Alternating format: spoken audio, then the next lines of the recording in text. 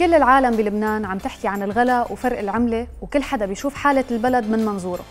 فيديو عفوي لطفل لبناني انتشر على منصات ال social media عم يحكي فيه عن ارتفاع أسعار الأكلات الطيبة.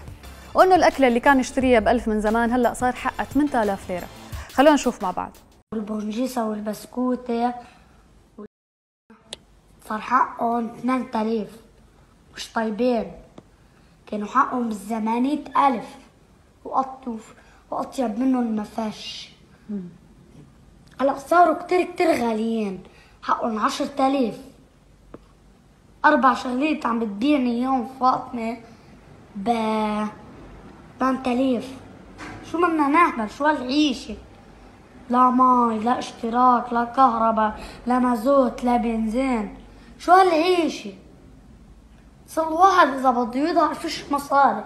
بصير إذا بده يروح يكذب فيش بنزين سيارته فاضية بصير يجي يشتري أحسن شي يشتري كرب ويدار على أحسن شي شو بدنا نعمل شو هالعيشة؟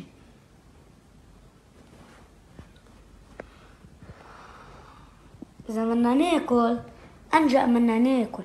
أنجأ بدنا نشرب. لا أكل ولا مي بدنا ربطة خبز لناكل فيها الأكلة ما في خبز أنجأ نلاقي بالدكاكين. نحن وين قاعدين عكوكب الأرض عكوكب الأرض والله بجهنم. لا بجهنم أرحم. شو ها شو هالعيش؟ شو يا عمي هلا تسألين شو فين منصات لبنانية قالت إنه الطفل اسمه حسن. حسن حصل على تفاعل كبير بلبنان ومن التعليقات تعليق من زينب بيقول حتى الأولاد تعبوا وصار كل حكيهم ما في إلا كهرباء ومي وبنزين. الله لا يوفقكم حرمتوا الولد من أبسط شيء. اما ريم فعم تقول أنا ابني عمره سنتين وصار بيعرف شو يعني بتجي الكهرباء وقت بتجي بصير يزقف كرمال يحضر التلفزيون. أما أياد فعم يقول وضع محزن أقل حقوق الأطفال ب 2021 ما في. لما الطفل بيحكي مثل الكبار مش شيء مفرح مهموم مثل الكبير. اما مجد فعم بيقول الموضوع ما فيه شيء بيضحك إذا كان بسوريا ولا بلبنان الجيل الصغير محروم من كل شيء والله يفرج على الجميع. تعليق من ليلى بيقول ليش هيك صاير بلبنان؟ ما عندهم قيصر ولا إرهاب ولا حصار.